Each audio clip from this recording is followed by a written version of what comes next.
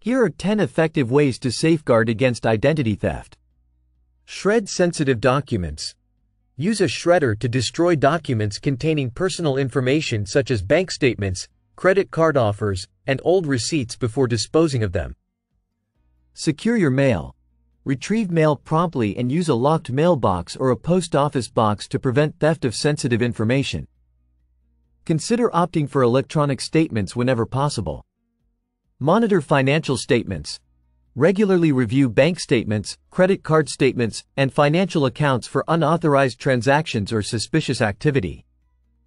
Report any discrepancies immediately. Use strong passwords. Create strong, unique passwords for online accounts and change them periodically. Use a mix of letters, numbers, and symbols, and avoid using easily guessable information like birth dates or names. Enable two-factor authentication. Enable two-factor authentication, 2FA, for online accounts that offer this option. This adds an extra layer of security by requiring a second form of verification. Be cautious online. Avoid clicking on suspicious links or downloading attachments from unknown sources. Use reputable antivirus software and keep it updated to protect against malware and phishing attacks. Secure personal information. Store sensitive documents, passports, social security cards, and other personal information in a secure, locked location at home. Limit sharing personal information.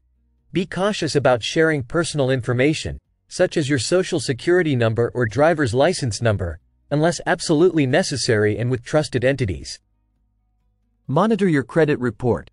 Regularly check your credit report from major credit bureaus, Equifax, Experian, TransUnion, for any unauthorized accounts or inquiries.